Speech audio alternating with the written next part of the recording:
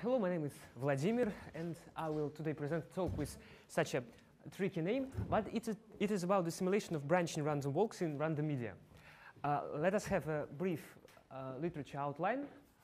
Uh, for the first time, apparently, the problems related to the branching random walks in random media was discussed in the series of works by Zeldovich, Molchanov, Ruzmaikin, and Sokolov in 1980s. It was uh, about some chemical kinetics, uh, like physics-related phys problem related to physics, but the mathematical definitions and the mathematical formalization, these problems uh, have um, these problems have uh, get only in the series of works by Gärtner and Molchanov in 1990 and in 1998, where the uh, there was a strict mathematical definitions. For example, the concept of intermittency, which is a kind of central central problem now, uh, was defined only here.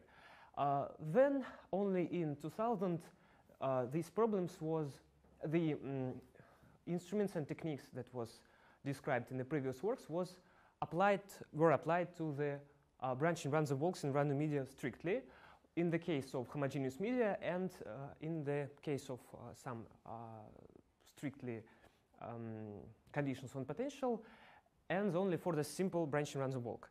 And only in 2020, 20, 2012, uh, these uh, restrictions was removed by Elena Yarovaya, uh, and also the non-homogeneous branch random walks was assumed. And we have started to um, investigate the current topic from the statistical point of view only uh, a year ago, and uh, today we will have we will discuss the some results and um, mm, improvements that was made on these results from the, this preprint. It is available now, now on arXiv and is uh, now under peer review. So let us start from the basic definitions.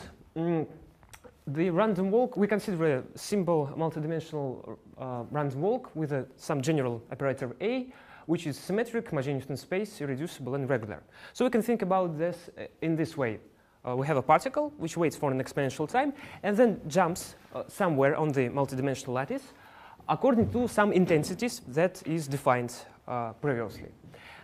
Uh, and this uh, process continues, so on and so on. Uh, we will, in theory, there is a general theory for the operator A, but today we will have uh, we will talk only about very simple case, operator kappa delta, when the particle can only jump to the neighboring points of a lattice with equal probabilities, because it already has all the effects we are need to understand and analyze. And it is very simple to simulate and to work with.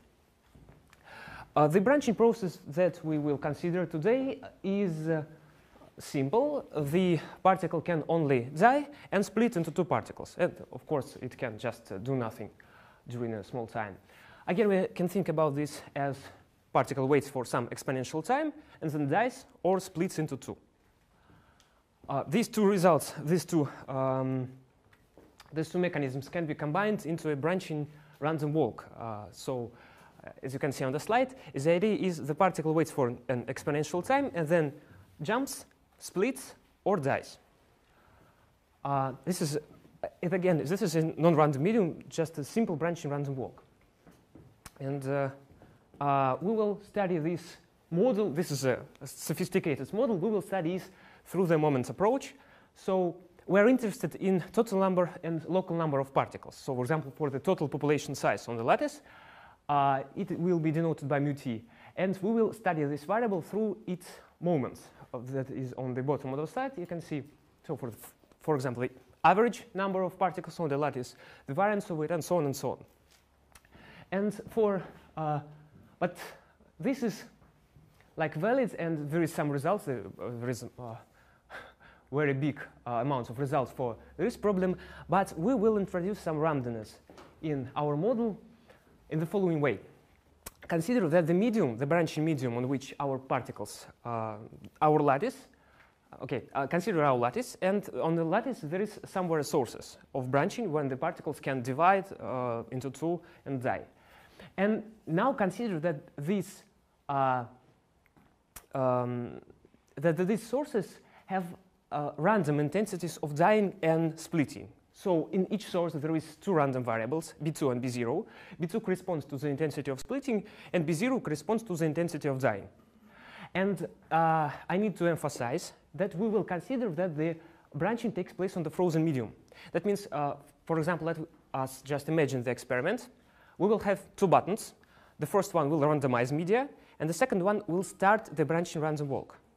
And the branching random walk is um, uh, the branching random walk uh, will be done as follows. At first, we push the button which randomizes the media, and then we push the button which starts the branching random walk. The media is stationary in and won't be randomized anymore. So only for the like at the initial time. If we will start another experiment, again, we hit the button that randomizes the branching media, then we hit the button that starts the branching random walk. So we will have uh, this model. And again, uh, uh, this mechanism can be um, um, united with the random walk, and we will gain the branching random walk and random media. We will need to introduce such variable as a random potential. This is a kind of variable about uh, the um, criticality of the process. Uh, this is the intensity of splitting minus the intensity of dying, but this is random. It, it will be very useful uh, for the next uh, results. Uh, so the main problem in the one of the main problems in the theory of branching random walks is that we cannot apply the moments approach because, uh, for example, in the non-random media, in the simple media, we just can uh, describe our average number of particles by moments. But in random media, for example, for this media, uh, we will have small number of particles, small average number of particles. This is a poor media. And this media, medium, is uh, rich, so we'll have a big number of particles, and these two moments won't coincide. So the moment today, uh, uh, moments in this, um, in this model is a random variable by itself. It's not convenient to describe a random variable by random variable. So we will uh, again apply the method of moments and average our random variable again. Uh, average it by the media. And we will have um, so-called annealed moment. So these moments are called quenched moments, that means frozen moments. And this one uh, is called annealed moment. It's like unfrozen moment, but this uh, terminology is, um, has its uh, deep roots in physics, so we will uh, use uh, this, this terminology. Um, the main result um, that was developed uh, in this theory can be derived from the, from the very start. So we just derive the equations for the generating functions. Then we, from them we derive the equations of the moments. They will have such sophisticated structure. For example, this term is like some big recurrent function. So it's not easy. But for example, for the uh, first moments, it will have a quite simple and beautiful structure. And then we can use uh, Feynman-Kac representation, some, uh, a bunch of auxiliary results. And from all this, we can obtain the limit theorems. So we need some uh, conditions on the branching potential. These conditions are, the first one is very wide. So just, uh, we, we need just to use the moments approach. Without them, there will be, uh, there, there, won't be a uh, unique uh, non-negative solution for the differential equation we have seen on the previous slide. And uh, the other one is kind of technical. It is needed for this asymptotics. But again, it, it, it is wide too. So uh, the main result is that for the uh, homogeneous and both homogeneous and non-homogeneous media, we will have the asymptotics of this type.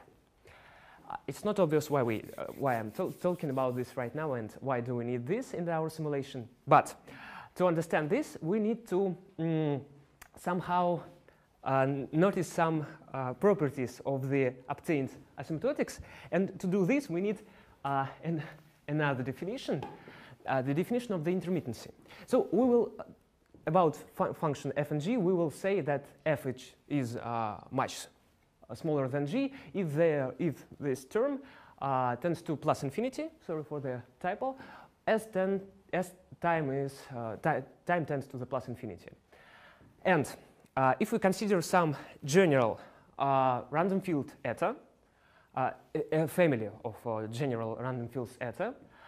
And if they have the following moments, so it's just they have all the moments with respect to the medium, uh, then this field will be called intermittence.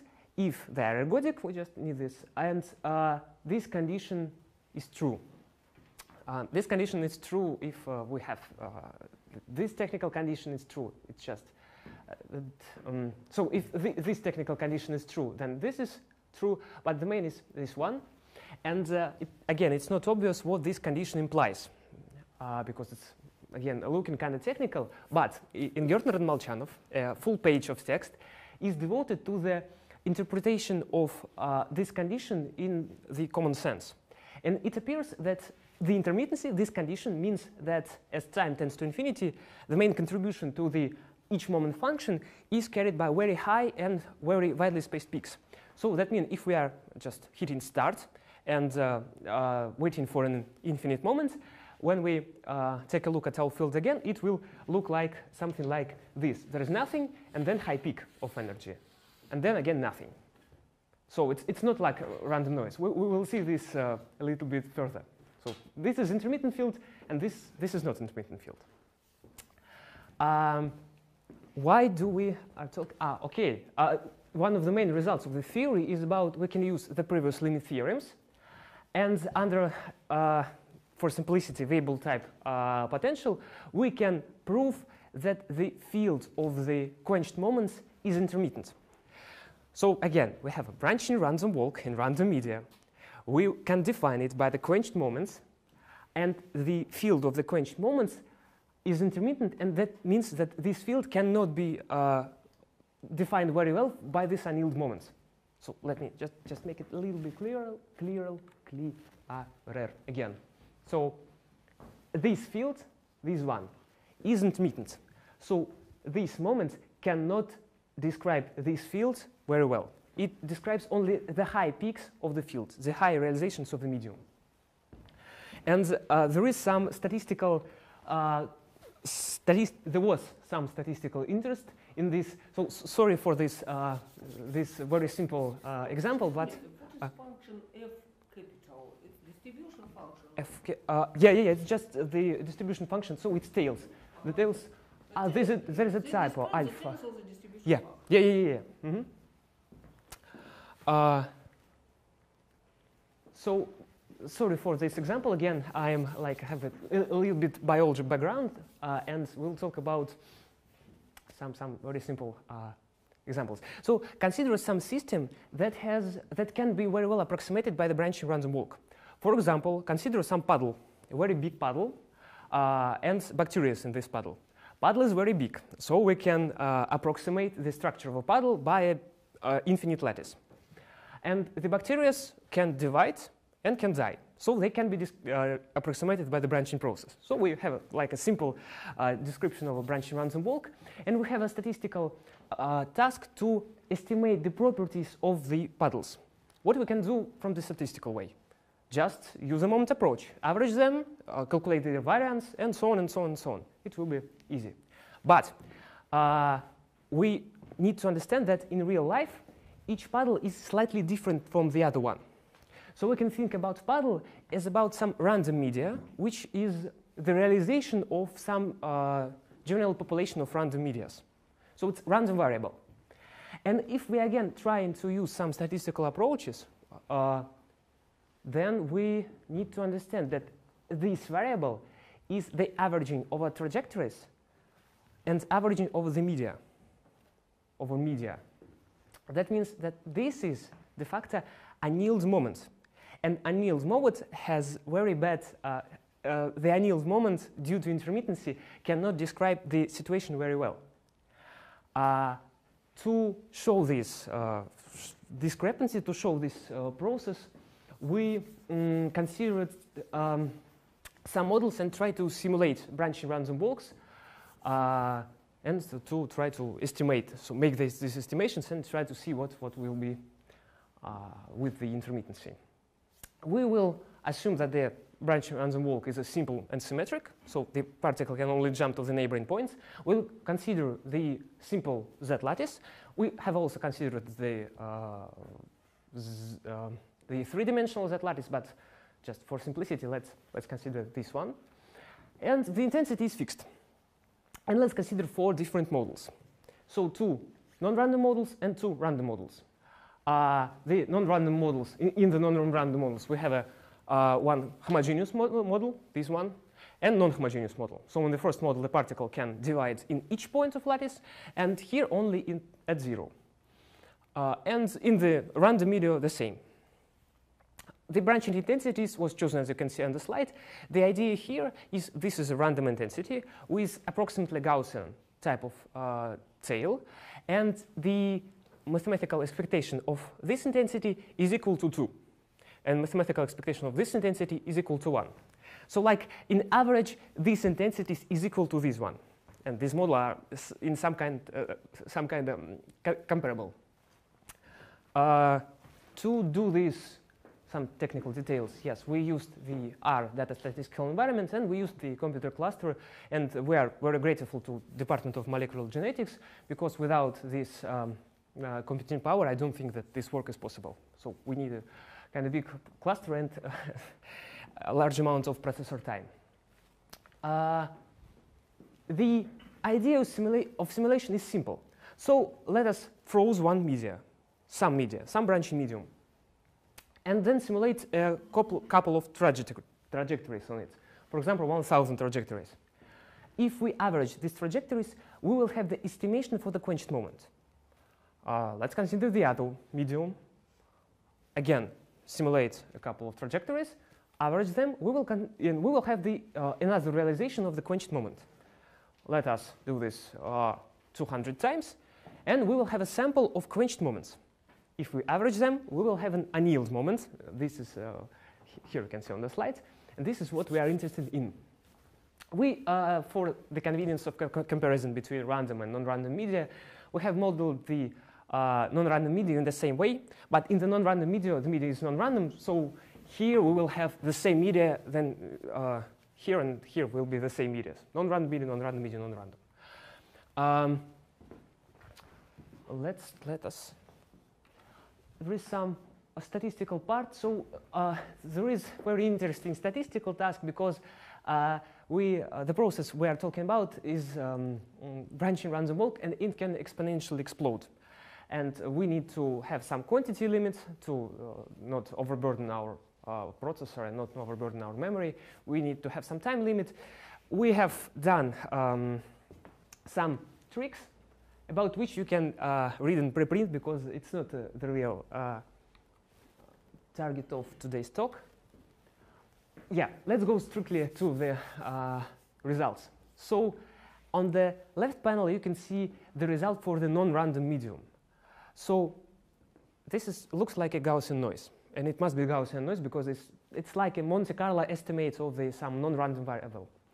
And on the right panel, you can see the random medium. Uh, on the time two, the field of uh, quenched moments looking like, like this, but with three peaks.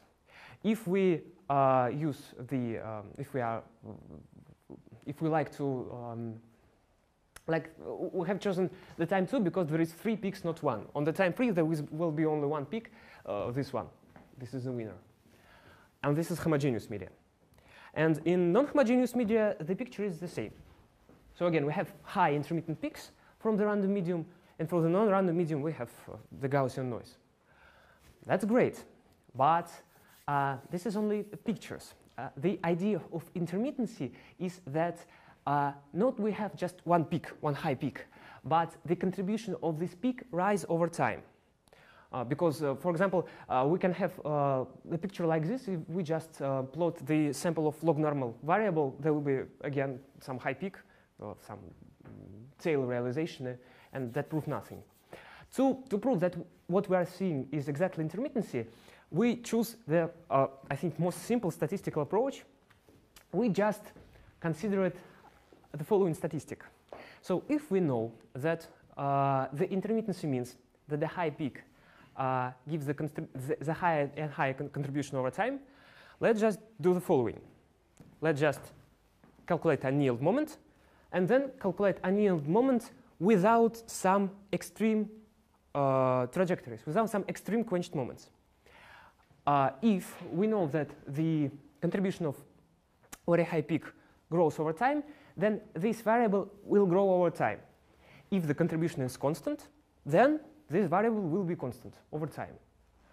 And uh, we have one, it appears that this variable is constant in the non-random media, and this variable rise over time, uh, increase over time in the random media. But again, there is a uh, interesting question. Uh, we have this, um, we can think about it in a statistical way. This is statistic. So uh, under null hypothesis of non-random media, it looks like constant, and under alternative hypothesis, it increases. And what about different k? Maybe for some k, uh, we, like if we take, take a look at this definition, we just uh, know that for k equal to 0, it's constant, and for k equal uh, 15, it's the ratio of the average and the median. So it's uh, well defined. But maybe there is some strange, um, strange effect, like if we rise k, maybe this uh, variable will be big for small case, and again, uh, do something like this. Maybe. Maybe not. Uh, we cannot answer this theoretically by now, but we again have to do some uh, modeling, and it appears for the non-random media as we, we know by theory, and it appears that it is equal to constant for each k and for each t. That's great, because in non-random media there is no intermittence at all. Uh, and in random media, for, uh, again, this is log, log axis. So for each fixed k, this is a strictly increasing sequence. So the conclusion is uh, we can uh, show that intermittency can arise on the finite times, finite times, and we now have some statistic to estimate this intermittency. And I forgot to state the main problem of my talk. The main problem was uh, we know that intermittency is uh, some behavior that can be um, that we can see only on the infinite times. So it's, it's uh, let me just show the uh, definition one last time again. So this is this. Yeah, so this is some limit behavior. Uh, we do not really uh, knew before if this behavior can be achieved on the finite times, finite times. And it appears that yes, we just can see it on very simple models and on the finite times. So that's all. Thank you very much for your attention. And if there is any questions, I'm glad to ask uh, for it. It. Thank you.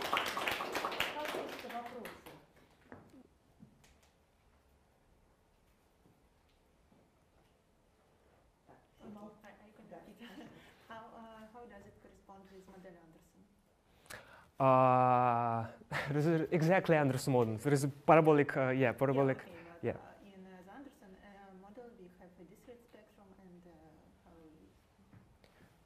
how how this this entire task, or so here we have um, there is um, like we have this equation for the random with the random yeah. yeah. and угу. начиная с каких-то э, лямбда, да, если мы ведем контрольную связи рядом с потенциалом, то у нас дискретный спектр. То есть э, наш оператор, который имел непрерывную структуру, у него становится дискретный спектр. Вот как, э, как в ваших результатах? Честно говоря, я вообще ничего не знаю о структуре спектра В. Это же случайный оператор. А что? Да, я это не изучал. То есть нет, этого я не знаю.